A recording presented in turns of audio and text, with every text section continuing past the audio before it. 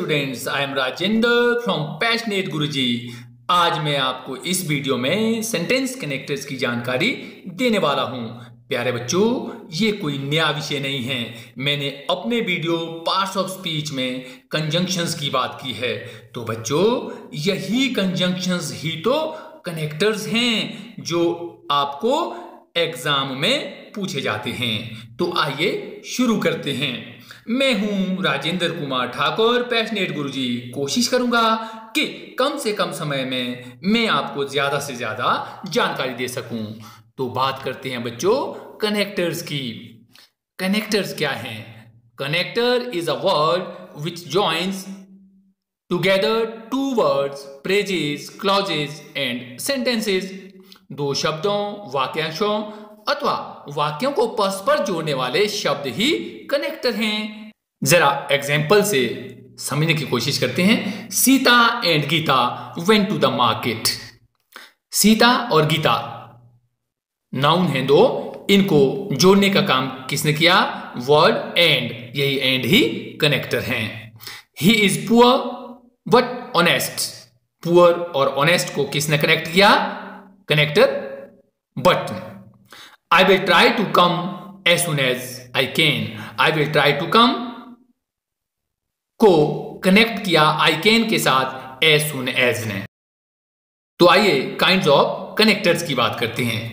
There are three major kind of connectors first one is coordinate connectors second one is correlative connectors third one is subordinate connectors आइए जरा इनको विस्तार से समझने का प्रयास करते हैं। पहला है coordinate connectors coordinate connectors are those which joins together words और प्रेजेस ऑफ़ इक्वल रैंक समान स्थिति वाले स्वतंत्र शब्दों, वाक्यांशों अथवा वाक्यों को मिलाने वाले शब्द ही कोऑर्डिनेट कनेक्टर्स हैं। जो जोड़ते हैं नाउन को नाउन्स के साथ वर्ब को वर्ब के साथ एडजेक्टिव को एडजेक्टिव के साथ एडवर्ब को, एडवर्ब के साथ, प्रेज को, प्रेज के साथ। आइए जरा एग्ज़ाम्पल से समझते हैं कैसे। Raj and Ravi are brothers. Raj and Ravi, क्या है? दोनों ही नाउन है। राज एंड रवि को कौन जोड़ रहा है? वर्ड एंड तो सो यहाँ पर एंड एक कनेक्टर्स का काम कर रहा है। We work and play together work played को कौन कनेक्ट कर रहा है? एंड वर्क एक वर्ब है प्लेट भी एक वर्ब है। दोनों को जोड़ने का काम कर रहा है वर्ड एंड तो सो एंड यहाँ एक कनेक्टर की भूमिका निभा रहा है। He is sad but hopeful sad and hopeful को कौन सा वर्ड कनेक्ट करने का काम कर रहा है? दैट इज़ बट बट एक कनेक्टर है यहाँ। He spoke loudly and clearly. Word loudly and clearly. जैसा कि आपके साथ मैंने पार्ट्स ऑफ़ स्पीच वाले वीडियो में डिस्कस किया था वर्ड लाउडली यहाँ किसको मॉडिफाई कर रहा है स्पोक को स्पोक एक वर्ब है तो वर्ब को मॉडिफाई करने वाले वर्ड होते हैं एडवर्ब तो एक एडवर्ब लाउडली को कनेक्ट कर रहा है, दूसरे एडवर्ब क्लियरली के साथ वर्ड एंड तो एंड यहाँ कनेक्टर की भूमिका निभा रहा है। He met me in the bazaar and again at the station he met me in the bazaar एक फ्रेज है। अगेन एट द स्टेशन दूसरा प्रेज है। दोनों प्रेज को आपस में जोड़ने का काम किया कनेक्टर एंड ने। He walked hard yet he failed he worked hard एक सेंटेंस है. ही फेल्ड दूसरा सेंटेंस है. दोनों सेंटेंस को जोड़ने का काम किया कनेक्टर येट ने. तो सो ये कोऑर्डिनेट कनेक्टर है.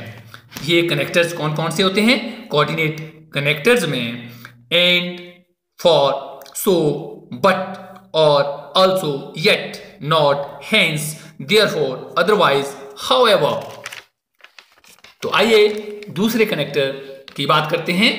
That is correlative connectors correlative connectors are those connectors which are used in pairs जोड़ों के रूप में प्रयोग होने वाले कनेक्टर्स को कोरिलेटिव कनेक्टर्स कहा जाता है। कौन कौन से कनेक्टर्स हैं ये? Both and so as so that either और neither not not only but also no sooner than hardly when so that such that scarcely when as as as so इनके एग्ज़ाम्पल देखते हैं, किस तरह से ये पेयर्स में यूज़ होकर तो वाक्यों को या फ्रेजेस को कनेक्ट करते हैं कंबाइन करते हैं। He walk so hard that he fell ill so that इन दोनों ही कनेक्टर्स ने पेयर में कनेक्ट किया है पूरे वाक्य को। दूसरा वाक्य है he could neither sit nor stand neither nor pairs में यूज़ हुए हैं, इसलिए ये कोलेटिव कनेक्टर्स हैं। He is both kind and honest both and connectors की भूमिका निभा रहा है। आइदर मोहन और Sohan has done it either और या तो मोहन ने या सोहन ने ये काम किया है। तो यहाँ पर जो कोरिलेटिव कनेक्टर्स हैं आइदर और पेयर्स में यूज़ हुए हैं। She is not only proud but also mean यहाँ पर not only but also pairs में यूज़ होकर कनेक्टर का काम कर रहे हैं। तो आइए, तीसरे तरह के कनेक्टर्स की बात करते हैं subordinate connectors when a word joins clause to main clause on which it depends for its full meaning it is called subordinate clause जो कनेक्टर किसी उपवाक्य को अपना अर्थ स्पष्ट करने के लिए उसके मुख्य वाक्य से जोड़े, वे सबॉर्डिनेट कनेक्टर्स हैं। इनमें कुछ एक एग्जांपल्स देखते हम। ही विल डू ये मेन क्लॉज है। If he is allowed to do so ये इसका स्वॉर्डिनेट क्लाउज है। तो पूरा वाक्य है ये। He will do he is allowed to do so दूसरा वाक्य है tell me where he lives I do not know when he will come he is the boy who beat my brothers समझते जरा इनके बारे में? इनमें जो स्वॉर्डिनेट क्लाउज हैं if he is allowed to do so where he lives when he will come who beat my brothers अपने पूरे अर्थ को स्पष्ट करने के लिए मेन क्लाउज जो हैं he will do tell me I do not know he is the boy पर डिपेंड हैं। इनमें जो कनेक्टर्स हैं इफ़ वेयर वेन हु ने इन दो असमान वाक्यों को जोड़ने का काम किया। अतः ये सबॉर्डिनेट कनेक्टर्स कहे जाएँगे। तो आइए जो सबॉर्डिनेट कनेक्टर्स हैं, वो कौन कौन से हैं? सबॉर्डिनेट कनेक्टर्स में भी classified according to their meanings as पहला है कॉज कॉज के लिए कौन कौन से कनेक्टर्स शो किए जाते हैं? एज बिकॉज़ सिंस दूसरा है purpose that so that in order that comparison के लिए जब दो वर्ड्स या दो सेंटेंसेस में कंपैरिजन किया जाता है, वहाँ पर कौन सा कनेक्टर यूज़ किया जाता है? Then as as if as well as conditions पे if unless whether in case that result के लिए. That so that time show करने के लिए टाइम में after before when since while place के लिए वेयर मैनर के लिए how as if as though degree के लिए as far as as much as तो ये तीन प्रकार के कनेक्टर्स हमने देखे। तो प्यारे बच्चों हमारे नाइन्थ एंड टेंथ स्टैंडर्ड में इन कनेक्टर्स को किस तरह से पूछा जाता है? आइए उस तरह से थोड़ा हम चर्चा करते हैं। तो आपके एग्ज़ाम में दो वाक्य दिए होंगे। उनके साथ एक कनेक्टर दिया होगा। उन कनेक्टर्स का प्रयोग करते हुए उन दोनों ही वाक्य को कंबाइन करना होता है। तो समझते हैं जरा। आई वॉज़ टायर्ड पहला वाक्य है। I sat down to rest दो वाक्य हैं, इनके साथ कनेक्टर्स दिया है एज इस एज कनेक्टर का यूज़ करते हुए दोनों वाक्यों को हमने कंबाइन करना होता है। तो कैसे कंबाइन करेंगे इनको? एज यहाँ पे कॉज के लिए दिया है। क्यों की स्थिति में यूज़ करेंगे इसको? As I I was tired I sat to rest कैसे यूज़ हुआ है as I was tired I sat to rest अब कंबाइंड होके एक सेंटेंस बना दिया है।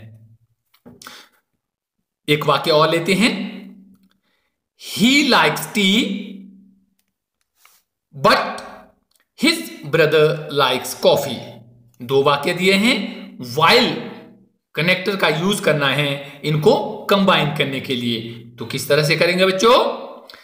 He likes tea while is brother likes coffee he likes tea tea के बाद हमने कनेक्टर वाइल का यूज़ किया। उसके बाद हिज ब्रदर लाइक्स कॉफ़ी यहाँ पर परंतु लेकिन की स्थिति में हमने वाइल को यूज़ किया है।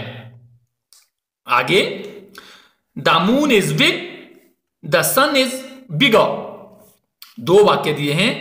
मून और सन के बीच में कंपैरिजन किया गया है। तो यहाँ पर कनेक्टर देन का प्रयोग करते हुए हमने इनको कंबाइन करना है। कैसे?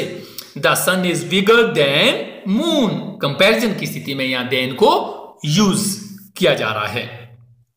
नेक्स्ट वाक्य देखते हैं। We stayed there at last it was five o'clock दोनों वाक्यों को अंटिल कनेक्टर से कनेक्ट करते हुए कंबाइन करना है। We stayed there until five o'clock we stayed there until five o'clock up to the time when की स्थिति में अंटिल को यूज़ किया गया उस समय जब तक के रूप में। अगला वाक्य देखते हैं।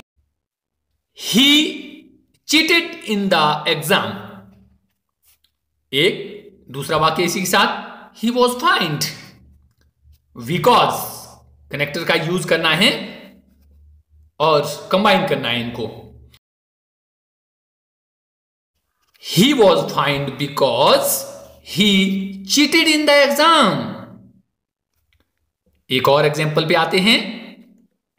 He knows you I know you better he knows you I know you better than का प्रयोग करके कंबाइन करने की कोशिश करो। प्यारे बच्चों, अक्सर इस तरह के वाक्य ही एग्ज़ाम में पूछे जाते हैं। I know you better than he I know you better than he again यहाँ देन को कंपैरिजन के लिए यूज़ किया गया है। Ram is good Shyam is good यहाँ पर एज एज का यूज़ करते हुए इनको कंबाइन करना है। तो कैसे करोगे? Ram is as good as Shyam. तो आगे सेंटेंसेस का एक और पेयर लेते हैं। Dogs like to eat meat cats don't like to eat meat but connector का यूज़ करते हुए इनको कंबाइन करो।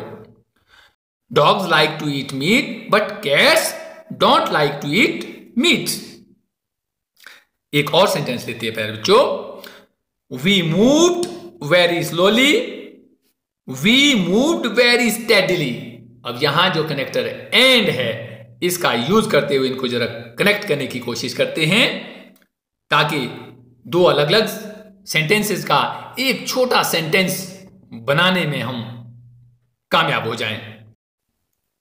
We moved very slowly and steadily बहुत आसान। तो प्यारे बच्चों, उम्मीद है आप थोड़े से समय में कनेक्टर्स के बारे में काफ़ी कुछ सीख गए होंगे। प्यारे बच्चों, अगर कनेक्टर्स के बारे में कुछ समझ बनी तो इन वाक्य के जोड़ों को कनेक्टर की सहायता से कंबाइन करने का प्रयास करें। Dear students hope that you enjoy the video very much so keep watching keep sharing और हाँ, अगर चैनल पर नए हो तो सब्सक्राइब करके वेल आइकन दबाकर नोटिफिकेशन को ऑन करें, ताकि मेरे आने वाले वीडियो की नोटिफिकेशन आपको मिलती रहे। नए नए वीडियो के साथ फिर मिलेंगे। जय हिंद, जय भारत।